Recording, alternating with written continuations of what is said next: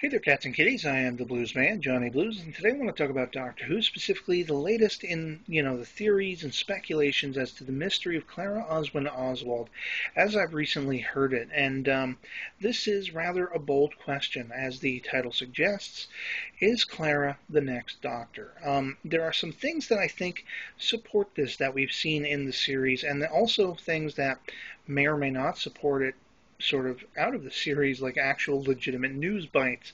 Um, first of all, in in the series itself, we have Clara, this mystery character. We've seen her multiple times, uh, multiple versions of her, it seems. And one of the theories out there is, of course, that which I've discussed in a previous video, could she be splintered in time, akin to uh, Scaroth, the Jagaroth from City of Death, the classic series Tom Baker episode. And I think this is a viable possibility. Um, I think a future event has yet to be seen on screen that probably happens to Clara and splinters her through time, you know, as suggested. Um, will we see that? I don't know. Uh, another possibility, though, is you know, the doctor's traveling to all these different times and running into all these different incarnations of her. Could this be a sort of watcher figure, you know, a modern incarnation of the Watcher. The Watcher was basically going back to Logopolis, the final serial for Tom Baker as the Fourth Doctor. in which you had this mysterious white figure, faceless. You didn't know who or what it was. It was just in the background time and again. And it turned out that the Watcher was a future incarnation of the Doctor, meant to be there to help him regenerate into the fifth Doctor, Peter Davison.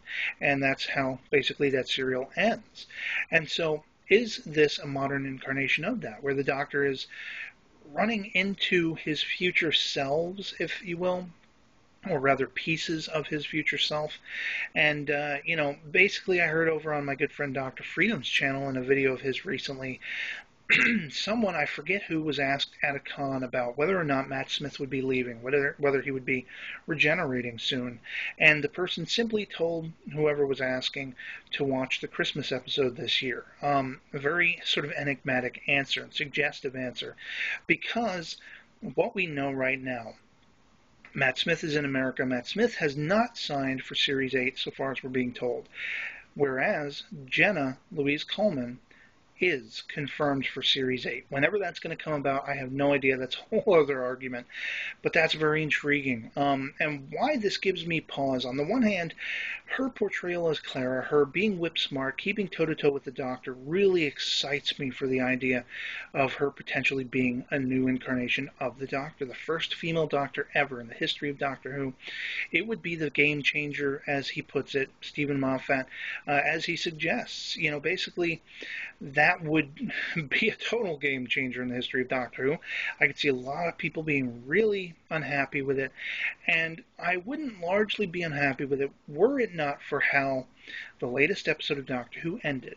The two children who stumble onto Clara's time traveling Suddenly, I have flashes of the future of Doctor Who being much less Doctor Who and much more, um, you know, Mary Poppins. Essentially, you have the nanny uh, roving time and space with her children companions, making this much more C- CBBC fare akin to Sarah Jane Adventures than what we're seeing with the Doctor Who series.